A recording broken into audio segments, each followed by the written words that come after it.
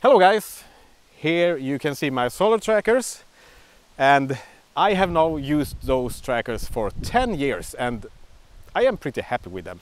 It's not the only panels that I have. I of course have panels on my roof to my house and I have another 20 panels up on my mountain which we can't see from here. But anyway, we are not going to talk about them today. We are just going to talk about those trackers here.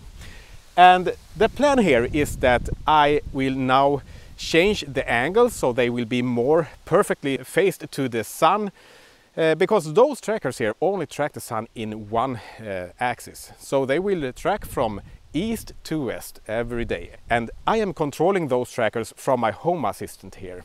So they are time based, so even if the sun is in cloud, they are going to track the sun anyway, or track the time. All right?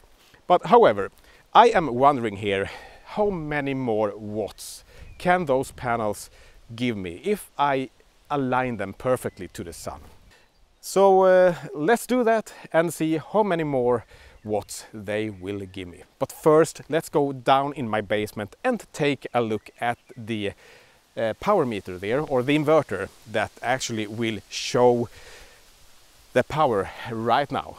And uh, of course, this power output is going to be different all the time, but right at the moment we have a clear blue sky. So I think that um, that time it takes for me to set those uh, trackers up, uh, it will not change so much in the output. So here are my inverters and the small one here is the one that will take care of the tracker panels. And the other one here is a Solax 15 kilowatt hybrid inverter that will take care of all of my fixed installed panels that I have on my roof and also that string that I have up on my mountain here. And you can see that uh, at this moment we are now producing uh, 1430 watts and it's pretty stable. It's probably more the wind that will cool the panels and therefore uh, the uh, wattage will uh, go up and uh, then it will go down again if the wind stops blowing. So, but pretty much 1430 watts there all the time and 196 ish volts. So let's now go out and change that angle to my trackers.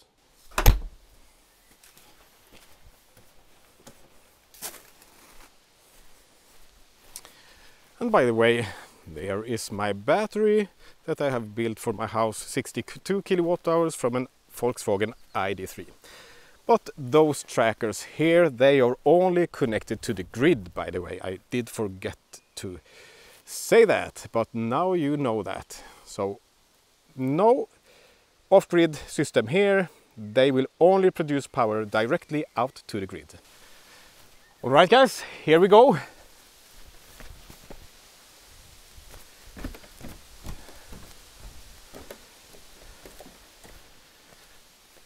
I start with this in the rear here.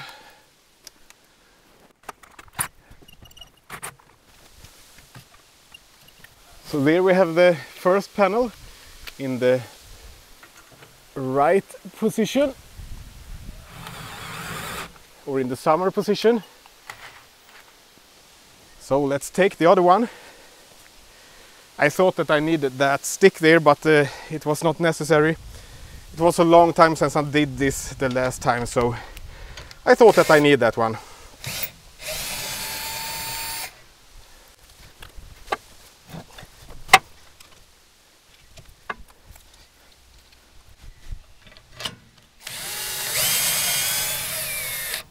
All right, there we have it. Let's now run down in my basement again and take a look at the power output. So here we go.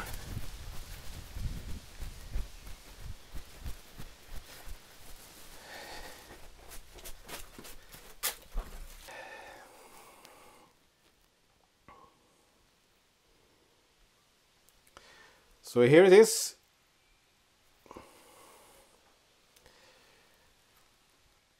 Uh, it's just barely a little higher and uh, I can definitely say that uh, it is not worth it to have uh, the trackers in two axes. Maybe of course uh, between the winter and the summer then we will have a much bigger uh, difference here.